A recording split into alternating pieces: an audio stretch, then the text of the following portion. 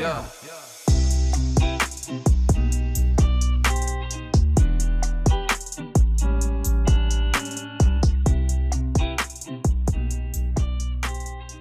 Hi everybody, welcome back to my channel. If you're new here, I am Emily. I'm a mom who loves home decor thrifting and a good DIY project. Today we are finally making over our kitchen nook. You guys saw this space in my empty house tour. It's this really small little corner spot in our kitchen. It has these great windows, but the nook kind of feels a little useless, like we can't really use it for anything. I had this idea to turn it into a little eat-in kitchen nook. We're talking like a mini eat-in kitchen nook because it really is a small space. I was inspired by these Pinterest photos of kind of like French bistro style little marble tables and little nooks with bentwood chairs.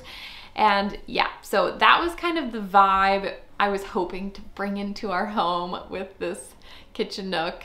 But before I get ahead of myself, if you're not already, feel free to follow me on Instagram at EmilyFaith22.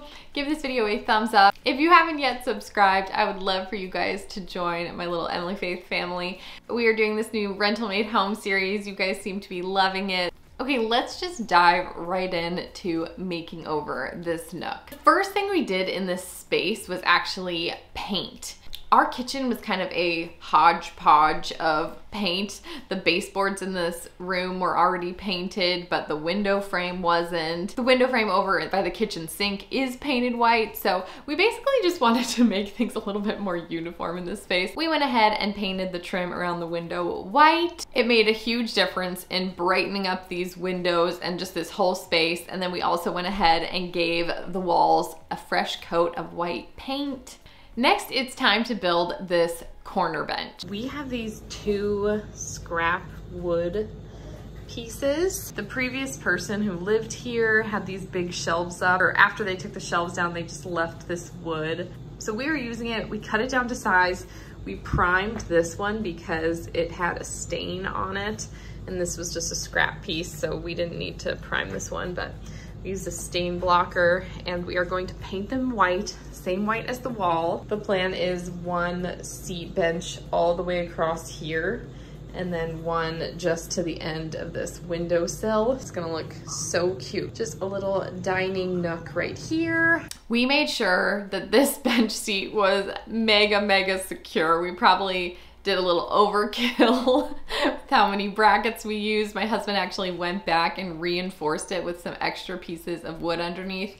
I don't really understand how he did it all, but trust me, this thing is secure. Once we had this corner bench in place, we went in and painted it all white. I really wanted to keep it minimal since it is such a tiny corner. I didn't really want this to be like a pop with the bench. So we painted it all white, really seamless your eye doesn't kind of catch on the bench, if that makes sense. The bench is all built, it's in place. Now it's time to work on this marble table. A while back, I grabbed this marble round top off of Facebook Marketplace. It didn't have any legs. I was so excited when I found this top. It was really affordable. I think it was like 15 or 20 bucks.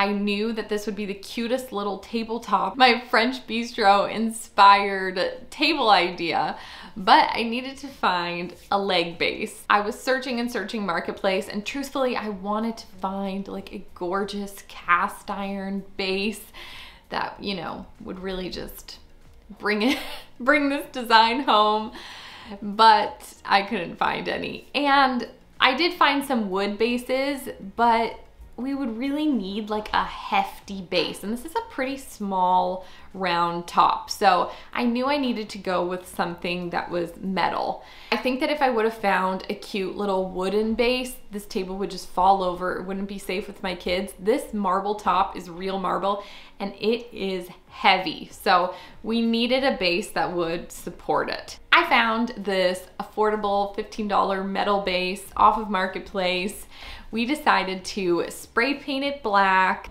Truth be told, I still don't necessarily love this metal base with the top. Maybe because it's not like my full vision come to life, but you know what? We're making it work.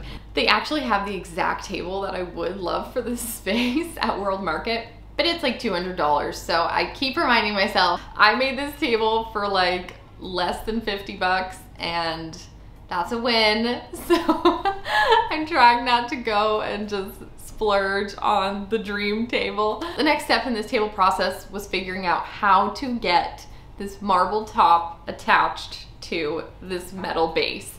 So what we decided to do was cut a piece of wood that could attach to the metal base because it has screws. We cut this piece of wood down to size, screwed the metal base into this piece of wood, then used some E6000.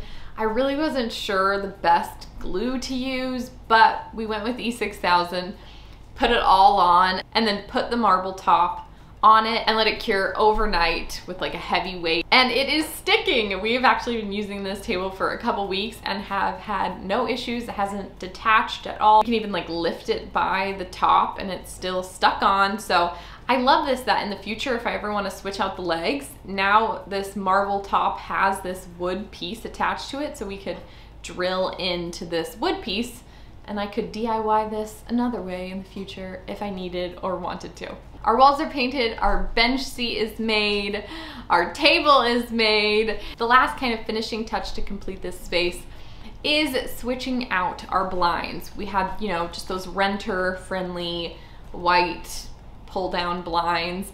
And honestly, it was kind of sketching us out because there's these long cords and our kids kept playing with the cords and we're constantly every day had to like put them way up high for obvious safety reasons. Probably not safe for them to be playing with cords. Our other blinds, they're too high up, they can't reach them, but because of this bench seat, they could reach all these cords and we really just wanted to switch them out. So I actually ended up getting an email from a company called SmartWings. They make custom roller shades, woven wood shades, and zebra shades. They're also all like electronics, so you can use the remote to make them go up and down. And you guys, they are so awesome. Maybe because we've always just had old school blinds, but it is actually so fun. We just press this little button and the blinds go up and down. My husband installed these and said they were super, super easy to install. Basically, you just screw in a bracket and then there's just this little like nut that you thread on.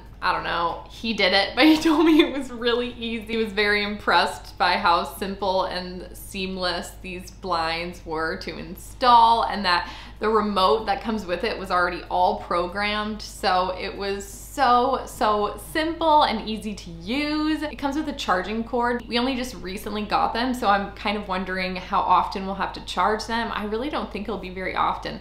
I mean, it can't use that much power. It's just like once a day up and down. For the shades, I picked these woven wood shades. Now for basically all of their shades, you can choose like blackout options, but for the kitchen, I really wanted to still let that light through. So I didn't choose any like lining or backing behind these because yeah, it's the kitchen. I feel like the kitchen, even if you need some privacy, should still kind of let that light in.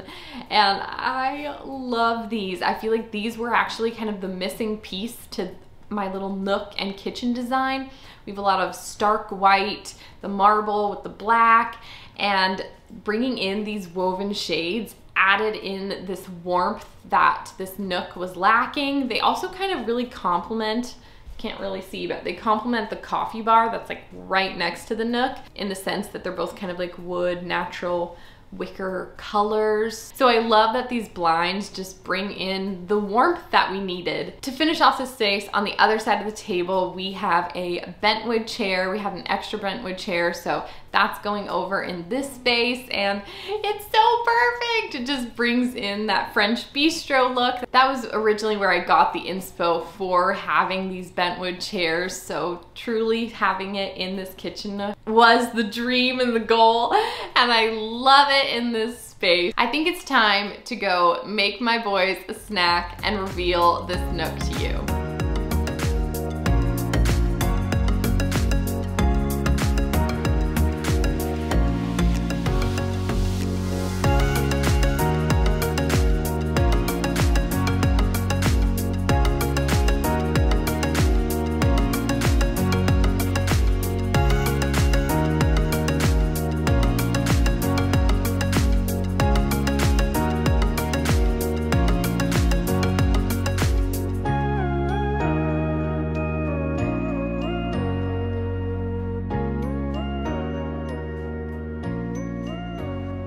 Am so in love with how this nook turned out. It's so cute. I feel like we've kept it minimal to not overwhelm the space. You have to remember we have a whole kitchen going on behind it, a coffee bar here. So keeping this tiny little nook minimal just makes sense and it is so cute.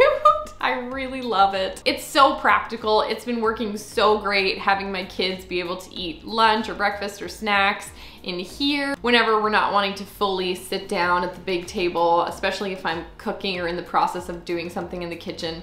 It's nice to have the boys close. So happy with how this turned out. And thank you so much SmartWings for gifting us these blinds. You guys, I am gonna link them down in the description box. You have to go check them out. I hope you enjoyed today's video. If you did, feel free to give it a thumbs up.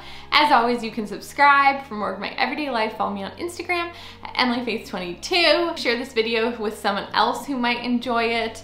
That would help out my channel a ton. Comment down below, let me know what was your favorite part of this Nook design. I think that's everything. I hope you have a great day and I will see you next time. Bye!